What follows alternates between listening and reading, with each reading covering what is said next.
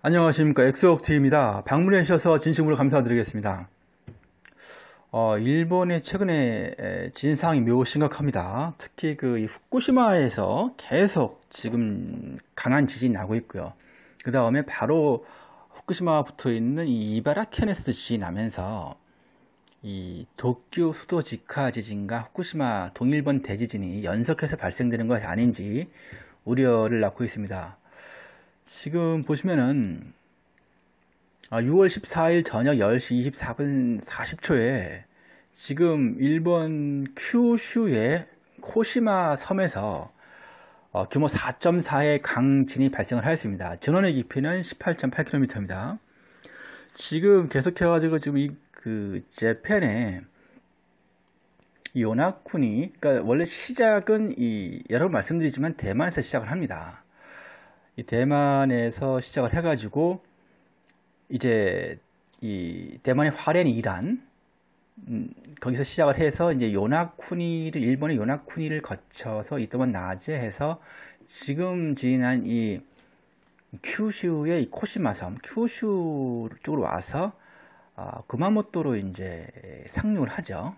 상륙을 한 이후에 이제 구마모토에서 어, 이제 그 아소산을 거쳐서 에이메현 시코쿠를 거쳐가지고 이제 간사이를 지나서 중앙고조선을 타고서 도쿄를 강타를 합니다. 그 나서 다시 아, 일주일 뒤에 대만에서 시작을 해가지고 다시 똑같은 패턴으로 다시 또 이제 도쿄를 강타를 합니다. 계속해가지고 이런 것들이 과거에는 100년, 50년 이런 주기였죠. 그러니까 이제 그 과거의 좀 데이터들을 이렇게 분석을 해보면은 전 불의골이만이 아니라 전 세계의 뭐 여러 가지 그 지진 지역들을 활성 단층들을 치고 치면서 한 10년 정도로 이렇게 움직입니다. 길면은 100년. 그러면서 이제 이렇게 움직이다가 이제 한 10년 뒤에 아, 그 후쿠시마를 친다든지 아니면은 뭐 큐슈를 쳐서 뭐 구마모토 대지진이 난다든지 아니면 아, 이큐 저기 홋카 저기가 어디죠? 후쿠시마를 쳐가지고 동일본 대지진 난다든지 아니면은 이제 뭐 어, 뭐 저기 뭐 그 효고현에 뭐 이제 고배를 쳐서 한신 아와지 대지진이 난다든지 이렇게 한 10년에서 길게는 100년 주기로 움직입니다. 그러면서 이제 아, 온타키 화산이 폭발한다든지 그래서 이제 사망 사건이 있었죠. 그런 사건 그런 온타키 화산도 어, 이렇게 그 매년 일어나는 게 아니라 주기적으로 움직이는 겁니다. 그러니까 지진과 화산은 같이 도미노로 움직이기 때문에 그래서 이렇게 에, 그 이제 도미노로 움직이는데 그 도미노의 그 패턴이 보통 한 10년에서 짧게는 5년 아, 정말 더 짧게는 1년인 경우도 있는데 그런 경우는 별로 못 봤습니다. 그래서 근데 최근에는 그게 100년 과거 100년에서 짧게는 10년 정도의 패턴이 일주일로 바뀌었습니다.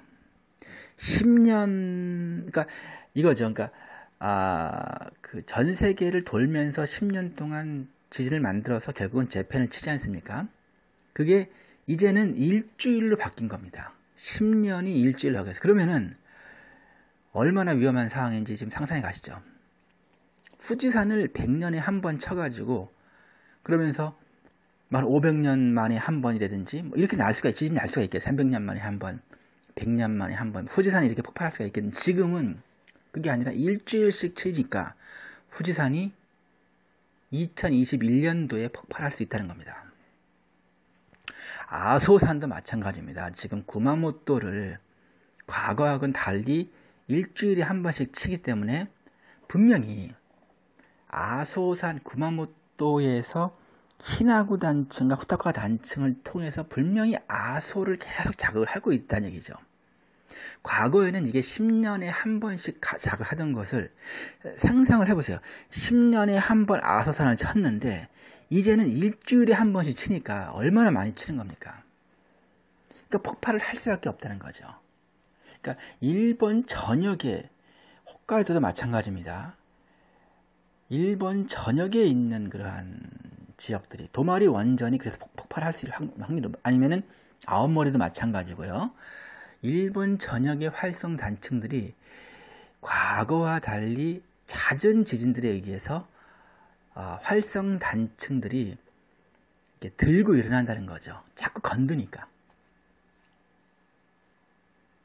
그럴 수밖에 없는 상황입니다. 아, 굉장히 심각한 상황이고요. 한번 지진 상황을 보도록 하겠습니다. 보시면은 보시면은 계속해가지고 이 필리핀으로 보이는데 여기는요. 필리핀이죠. 6월 14일 5.3 강진입니다. 여기 파피아 뉴기니로 파피아 뉴기니에서 그쵸? 파피아 뉴기니로 아, 여기는 인도네시아고요. 여기 파피아 뉴기니 이렇게 파피아 뉴기니 인도네시아 필리핀을 치고 올라오고 있고 보시면 여기 뉴질랜드로 보이는데요. 아, 피지입니다. 피지 아 피지 로 치고 올라오고 있고요. 지금 아, 이 보시면은 최근에 일주일 정도를 한번 어차피 그 일주일 텀을 해서 계속 최근에 움직이고 있기 때문에 일주일 텀을 한번 보겠습니다. 일주일 텀으로 왔을 때 지금 지진의 방향이 어떻게 움직이느냐 그걸 보면은 우리가 이제 뉴질랜드 캐리메드라든지 예, 마누아투 이쪽에서 어, 그 솔로몬도 그렇고요. 최근에 남태평양에서 계속 지진이 나는 것을 우리가 확인해 볼 수가 있습니다. 그러면서 이제 그러한 지진들이 계속해가지고 뉴질랜드 법칙, 마누아투의 법칙에 따라서 계속해가지고 지금 이 Japan의 후쿠시마를 치고 있는 겁니다.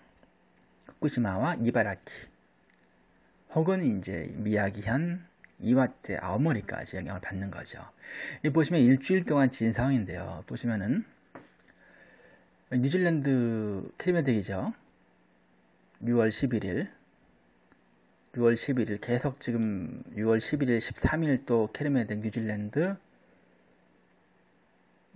지금 또 6월 13일 계속 지금 뉴질랜드 치고 있죠 6월 15일 피지 뭐 계속 치고 있습니다 보시면은 솔로몬이죠. 솔로몬 5.0 강진이죠. 그 다음에 여기도 솔로몬 4.8 여기는 바누아트로 보이죠? 바누아트 4.8 여기도 바누아트로 보이는데요.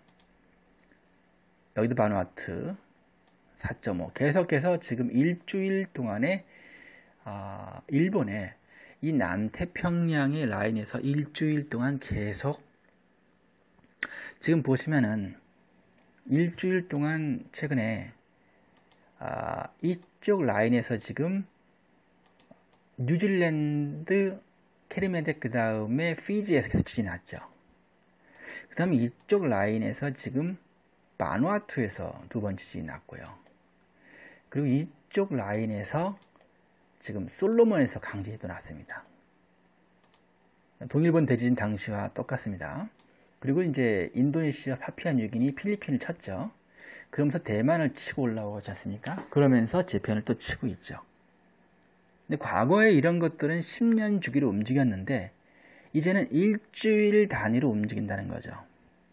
따라서 아, 그 강도도 더 강해지는 겁니다. 아, 1번을 위해서 기도드리겠습니다. 시청해주셔서 감사드리겠습니다. 구독과 좋아요 꼭 부탁드리겠습니다. 이 채널을 운영하는데 큰 힘이 됩니다. 감사드립니다.